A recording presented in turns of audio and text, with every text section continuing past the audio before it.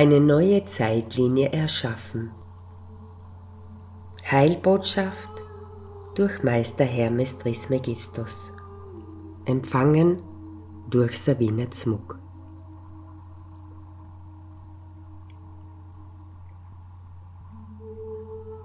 Mein Angebot kommt aus der Allmachtskraft Gottes, des ewiglich lichtvollen Lebens. Entspricht es nicht der Wahrheit, dass der Erdenmensch sich auf eine neue Zeitlinie anhebt, oder wird er in sie hineingezogen? Macht euch darüber einmal kurz Gedanken.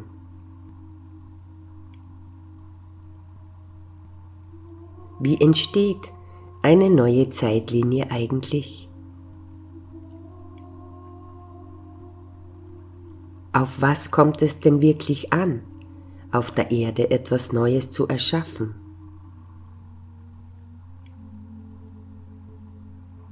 Wo fängt man eigentlich an und was kommt am Ende dabei heraus?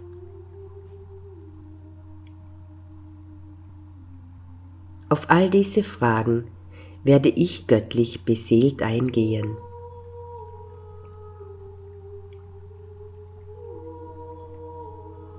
Inwieweit jeder hörende Mensch dieses Channeling-Portals es annehmen kann, liegt an ihm selbst, denn er wirkt wird auch hier alles nur über die Bestimmtheit des lichterfüllenden Kraftaktes etwas erfahren zu können, was andere noch nicht erfahrbar ausgebreitet haben.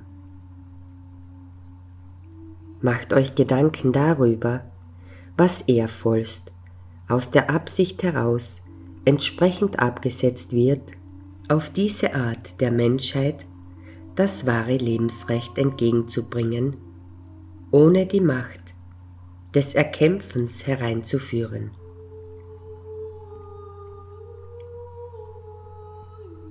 Diese Macht des Erkämpfens härtete euch schon zu sehr aus und hat auch entsprechend die alten Götter abrufbar gemacht.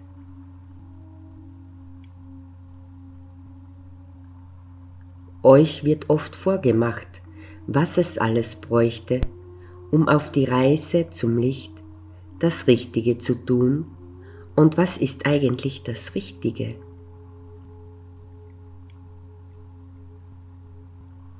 Ist es nur das, was einem vorschwebt, es wäre so richtig, sich zu verhalten? Oder ist es die Mangelkraft, immer auf andere hören zu müssen, was es ausmachen könnte, selbst ablösend und anhebend zu leben? Es gibt so vieles, was künstlich erzeugt wurde, um euch einzuschwingen auf dieselben Mehrkraftakte einzusteigen, die euch alle mitsamt anheben könnten. Die Art und Weise, wie alles so programmiert auf euch ausgebreitet hätte werden wollen, ist auch zu hinterfragen. Ehrvollst etwas Anhebendes für andere Menschenherzen zu erwirken, heißt, sich persönlich auf das Herz empfindend einzulassen und entsprechend auch zu erfühlen, was denn blockierend aktiviert ist. Aufstiegsprozesse sind ganz persönlich empfundene Wahrnehmungen, die sich in der Lebensart des Erfühlenkönnens verankern und mit dieser Lebensart sich erfühlend zu erfahren, kehrt auch die Bestimmtheit ein, an etwas fest zu glauben, das schon stattgefunden hat.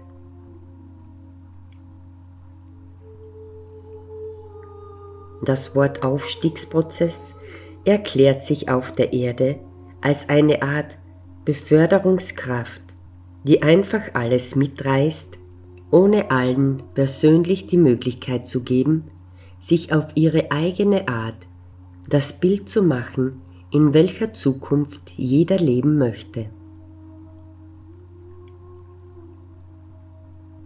Ungern möchte ich so ernüchternd auf euch eingehen, doch Worte der Ernüchterung helfen meist klarer zu werden, sich bewusster zu erleben. Hilfe anzunehmen bedingt auch der Absicht, sich dafür zu entscheiden. Ihr würdet staunen, wie ablehnend manch ein Mensch sich entsprechend entgegen der Gottesliebe entschieden hatte. Was macht den Menschen aus? Die Art und Weise, wie er gottbezogen lebt. Auf diese Art erkennt man den Herzensmenschen und wählt man Gott, so besteht immer die Möglichkeit, Hilfe zu erhalten. Der Machtanspruch auf Gott zu vertrauen heilt so vieles aus und nichts hätte die Möglichkeit, diese bestrafende Kreation Arimans an euch herangeführt abzusetzen. Die Mehrheit der Menschen liebt Gott nicht, weil er für sie eine Fiktion ist. Und was fiktiv ist, kann man nicht lieben. Es begeht der Mensch den Fehler, Gott als keine Wesenhaftigkeit zu erleben, sondern als eine beständige Quellessenz, die sich aus sich selbst heraus erschafft, aber trotzdem nicht die Macht des Eingreifens hätte.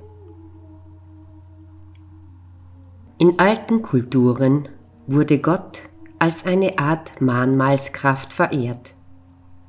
Das, was so entmachtend erlebt wurde, entweihte den Gottesmenschen und machte ihn zum Untertanen. Das göttliche Machtprinzip wurde auf diese Art entbehrend hereingeführt und die Macht der Liebe abgesetzt. Mein Kraftakt führt euch zur wahren Gottesliebe zurück und erklärt eure Handlungskraft. Die Gottesliebe erwirkt die Heilkraft des ewiglich lichtvollen Lebensaktes. Vordergründig ist erwirkt, Gott heilt für ewiglich und Gott ist die Macht des Erwirkens, alles tragisch Erkrankte abzulösen. Gott ist der Allmachtsanspruch für jedes Lebewesen, Gnadenakte zu erwirken. Es gibt nichts, was nicht göttlich erwirkt werden könnte. Jedoch müsstet ihr euch dafür entscheiden. Die Mehrheit der Menschen kann sich nicht auf das einlassen, was Gott erwirkend erlebbar machend ausbreiten möchte. So erkämpfen sie sich alles hart und aktivieren die Kampfeskraft der alten Kriegsgötter, die auf sich selbst bezogen mehr Lebenskräfte zurückbekommen und das Vernichtende mit einbinden. Hier wühlt es vielleicht manche Menschenherzen auf, die auf diese Art noch nichts erfahren konnten. Der Baum des Lebens auf Erden möchte neu erblühen und die Macht der Liebe alles neu erschaffen. Die Liebe möchte vor allem das Machtprinzip hereinführen, die Wandlungskräfte der Erdenmenschen zu aktivieren. Hier erwähltet ihr dieser Botschafterin und mir, Meister Hermes Trismegistos, im Auftrage Gottes zuzuhören. Macht euch bewusst, der Äther des Lichtkosmos erwägt sich auf die Erde auszubreiten und alles Ermächtigende absetzend zu aktivieren. Du hast Anspruchsrechte, die neue Zeitlinie auf dich bezogen zu erfüllen und auch auf das Kollektiv bezogen. Doch vor allem ist dir auferlegt worden, das Bündnis der dunklen Mächte abzulösen. Wer ewiglich anhaftet, kann den Aufstiegsprozess nicht ermöglicht annehmen. Heute erwirken lichtvolle Mächte die Bindekräfte des ewiglich lichtvollen Lebens hereinführen zu eröffnen. Ich bin Meister Hermes Trismegistos und habe die Macht zugesprochen bekommen, entsprechend eurer wahren Gottesherkunft alles, was sich so träge an euch angehaftet hat, abzulösen und entsprechend alte Lebenskräfte auf ewiglich Ablösekräften zuzuführen. Oft ist es dir selbst nicht bewusst, wie eisern du an etwas festhältst und wie angstvoll beseelt du auf Erden lebtest. Es handelt sich auf jeden Fall um die Macht, dich festzubinden. Der Weg zu Gott erreicht dich nur über die Allmachtskraft des ewiglich lichtvollen Lebens. Auf das kommt es allmächtigst an und für jeden einzelnen Menschen auch. Auf der Erde erwirkt Gott die Möglichkeit, sich zu entscheiden. Zeitlinien sind Attribute, die man auf sich selbst bezogen aktiviert, in einem sogenannten menschlichen Pool zusammenführt und auf die Lichtessenz prüft, was es erwirken könnte. Diejenigen Menschenherzen, die ihr Wort an Ariman, die Teufelskraft, abgegeben haben, erwirkten auf ewiglich die traditionelle Zeitlinie des Versklavens auf Erden. Diejenigen, die Gott das Wort gaben, ermöglichten es auf der Erde, neue Herrlichkeitsportale zu erschaffen, die die Mächte des Lichts anzogen, die eine neue Zeitlinienabsichtskraft hereinführten. Du bist im Gottespool, so erwirke die Allmachtskraft in deinem Lebensakt, die es allen Mitstreitern erlaubt, die Führungskräfte aktiviert, abzusetzen. Die Macht der Liebe führt euch Herzensmenschen an und gibt euch die Bestimmtheit, alles Erkrönende durch die Gottesmacht zu aktivieren. Ihr habt die Macht, entsprechend eurer Herzenskraft, das Portal Arimans zu schließen und nichts Altes mehr auferstehen zu lassen. Das alte Entmachtende ist von alten bestrafenden Gotteswesen eingefärbt und hat die Macht in sich, wieder auferstehende Elementarkräfte zu aktivieren. Ihr müsst euch entsprechend aktivieren, die Zeitlinie in der Liebeskraft aufrecht zu erhalten und die alten Gottesportale zu verschließen. Du hast die Macht, neue Erkenntniskräfte hereinzuführen, um das, was geschehen ist, nicht mehr erstickend mit einzubinden. Du hast die Macht, auf die lichtvollste Art die beständige Kreation Gottes auf der Erde zu verankern und wahrlich die lichtvolle Kraft des Neuerschaffens hereinzuführen.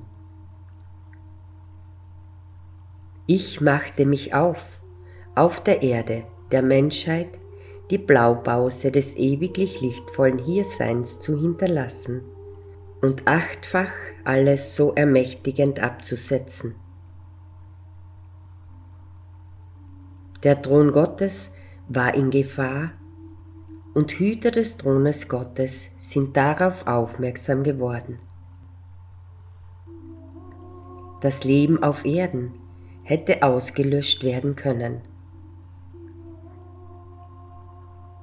Mochtest du früher auch einmal vielleicht hier auf Erden Ariman gedient haben, so erwirke alle Bündnisse abzulösen und für dich auf die höchste Art lichtvolle Bindekräfte zu Gott hin anzunehmen. Affirmation Ich, heiliger Machtmensch, möchte mich lossagen von arimanischen Bindekräften, die mein Gottesleben entweiht haben. Macht euch durch diese Ablöseaffirmation bewusst, göttlich besalbt zu werden. Es gibt so vielerlei dunkle entitäre Machtkomplexe, die auf euch einwirken. Heilaffirmation Alles Entmachtende erlöst sich aus mir, so erwirke ich aus Gottes Hand die Absicht, mich absolutionserfüllend zu erleben. Ich erhebe Machtanspruch auf die Kronenkraft Gottes, die alles erklarend aktiviert. Ihr Lebensmenschen ermöglicht es euch auf diese Art, das Leben neu auszugestalten. Heilaffirmation Alles Entweihende, Entmachtende erlöst sich auf ewiglich. Die Lichtessenz meines göttlichen Abbildnisses breitet sich allmächtigst auf mich aus. Meister Hermes Trismegistos ist ermächtigt, euch für das aktiviert zu eröffnen, was euch bevorsteht, und den Gnadenakt Gottes hereinführend zu aktivieren. Heilaffirmation Ich verkehre hier auf Erden nichts mehr. Ich erkrampfe nicht mehr, sondern enthebe mich allmächtigst auf die Herrlichkeitsebene des ewiglich lichtvollen Lebens. Es wird heller in meinem Herzen und ich kentere auf meinem Schiff nicht mehr, sondern erfülle mich in der Absicht, sicher am Herrlichkeitsufer Gottes anzukommen. Morgen folgt auf das Heute und gestern ist Vergangenheit. Die Erde bestätigt sich selbst, es ist Zeit, das Morgen folgend lichtvollst aktiviert auszugebären. Hier erwirkt Gottes Absicht die Lebenskraft des ewiglich lichtvollen Lebens. Ich erwirke die Zeitlinie folgend aufbauend, erweiternd, erfüllend, friedvoll erwirkend, allmachtsbezogen entstehen zu lassen. Was auch abgetrennt wurde, fügt sich zusammen. Was entbehrt wurde, erfüllt sich. Was abgestumpft wurde, erwacht zum Leben. In mir erwacht die Absicht, lichtvoller zu leben als bisher. Altes wird auf der Bühne des Lebens nicht mehr erkräftigend erscheinen. Das Wohl der Menschheit kehrt ein und Achtsamkeit. Der Erbe Gottes bindet sich ein und macht falschen Göttern das Zurückkehren unmöglich. Wo Achtsamkeit herrscht, wird die Macht des Entbehrens keine Chance mehr haben. Ich beabsichtige, alles besalbend aktiviert in die neue Zeitlinie mit einzubinden. Ich erwirke die Allmachtskraft Gottes auf Erden, die einweihende Kraft des Auferstehens Adams und Evas, der ersten Gottesmenschen. Erwachet in der paradiesischen Kraft der Gottesmenschen. Alles wurde auf die höchste Art göttlich erwirkt. Handle im Auftrag, das Gottes Abbildnis auf Erden aufrechterhaltend anzubinden. Mehr braucht es nicht. Alles Lichtvolle erwirkt durch Meister Hermes Trismegistos.